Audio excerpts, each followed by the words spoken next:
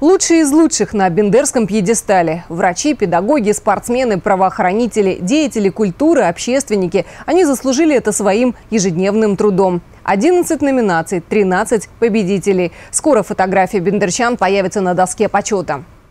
Бендеры – городской дворец культуры. Здесь сегодня чествовали лучших горожан. Люди разных профессий. Каждый из них внес свой вклад в развитие города и республики. В преддверии юбилея Бендер их отметили почетными дипломами и денежными премиями. Образование и спорт, экономика и бизнес, торговля и бытовое обслуживание. Всего 11 номинаций и 13 победителей.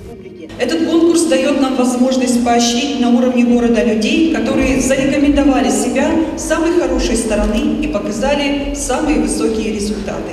Вы относитесь к своему труду не как к работе, а как к творчеству и истинному призванию. Поэтому вы смогли добиться успеха в той или иной области. Мы хотим, чтобы город знал своих героев в лицо, и каждый бендерчанин на своем рабочем месте стремился к достижению таких же результатов. Уважаемые победители, примите слова глубокой благодарности за ваш самоотверженный труд, за ваш профессионализм. Я хочу сказать, что, вы знаете, подводя вот эти итоги и пользуясь э, именно направленностью сегодняшнего мероприятия, хочется перефразировать э, слова Маяковского. «Я знаю, город будет, я знаю, саду свесть, когда у нас в Бендерах такие люди есть». Доктор Лилия Донич – победитель в номинации «Здравоохранение».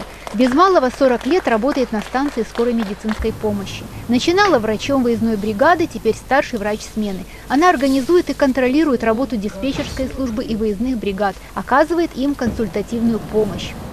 Работа – это вся моя жизнь. Когда я пришла работать, то я хотела спасать жизни людей по мере возможности, помощь оказать. И когда ты уже в это врастаешь, ты этой работой дышишь, ты этой работой живешь. Молодой предприниматель Григорий Тома – топ-менеджер сети кофеин «Горький». Победитель в номинации «Торговля и бытовое обслуживание». Его кофейные торговые точки стали центром притяжения горожан. Там постоянно проводят развлекательные мероприятия, конкурсы, мастер-классы, кинопросмотры.